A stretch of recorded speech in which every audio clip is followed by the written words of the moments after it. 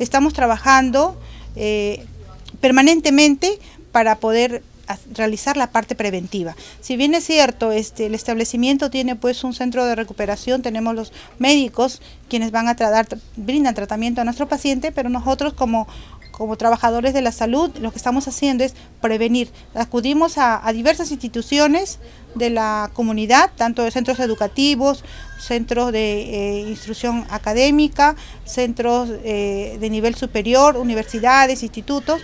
Estamos, hemos acudido a mercados durante todo este año, hemos acudido incluso a las vías públicas. ¿Para qué? Para educar a nuestra población, para que conozcan un poco más de esas enfermedades crónicas, porque no se curan, porque sí se pueden prevenir y sí se pueden controlar. Entonces, este, en este año estamos satisfechos, contentos con la labor que, que Dios nos ha permitido hacer porque hemos podido identificar muchos factores de riesgo en esta población, hemos informado a cada una de las personas que hemos atendido cuál es el riesgo de tener diabetes en un lapso menor de 10 años y que ellos, tan solo de ellos dependen pues evitar ser paciente diabético, porque es una enfermedad que está afectando no a la población guaralina tan solo, sino al mundo entero. Cada vez hay más personas enfermas de estas patologías.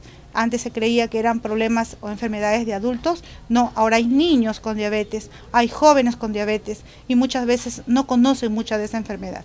Poco a poco vamos a educar a nuestra población y ellos pues este a las nuevas generaciones también estarán volcando estos conocimientos para poder tener personas más saludables que sean útiles pues, para nuestra sociedad. De repente la población quiere venir a hacer su descarte de diabetes o a controlarse, ¿lo pueden hacer en, qué horario lo pueden hacer y en qué Sí, eh, exactamente, nosotros también prestamos servicios todos los días, estamos en el turno de mañana, eh, pueden acercarse a la estrategia sanitaria de daño no transmisible que se encuentra frente al laboratorio y lo único que tiene que hacer la persona es tener deseo de evitar enfermarse. Venir y nosotros nos encargamos de hacer el tamizaje, consiste de una valoración clínica, consiste en un paquete de exámenes laboratorial, tomamos control de glucosa, de colesterol, triglicéridos y ello nos va a permitir evaluar qué riesgo tiene la persona de ser diabético y educamos básicamente para evitar que se desenlace esta enfermedad. ¿En Guadalajara han aumentado los casos de diabetes?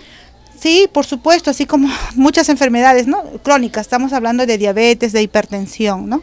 Pero básicamente, pues, este, es una labor que tenemos que hacer diariamente con nuestros pacientes en cuanto a la educación en la, en la salud.